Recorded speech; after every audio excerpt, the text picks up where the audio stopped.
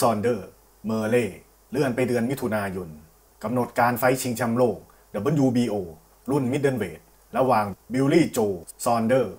กับมาร์ตินเมอร์เรย์ที่มีกำหนดการจะจัดขึ้นในวันที่ 14 เมษายนที่จะถึงนี้ ได้ถูกเลื่อนให้เป็นวันที่ 23 มิถุนายนแล้ว โดยมีสาเหตุมาจากที่ทางบิลลี่โจซอนเดอร์ส เกิดอาการบาดเจ็บที่มือ ระหว่างฝึกซ้อมทำให้ไม่สามารถขึ้นชก ในวันที่ 14 เมษายนได้ ซึ่งการเปลี่ยนกำหนดการชกในครั้งนี้ ได้ยกเลิกการชกประกอบรายการเดียวกันทั้งหมดทำให้ไฟต์ชิงแชมป์โลก WBO รุ่นจูเนียร์เวลเตอร์เวทระหว่างเทอร์รี่ฟานาแกนกับมัวริซฮุกเกอร์ ต้องหารายการชกใหม่สำหรับอาการบาดเจ็บของบิลลี่โจ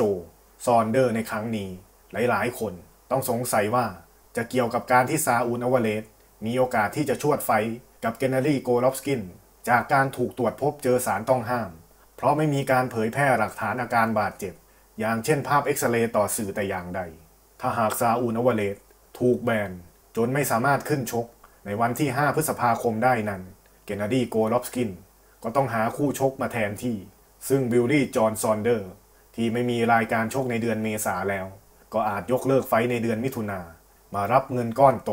ในไฟต์กับเกนนาดี้โกลอฟกิ้นได้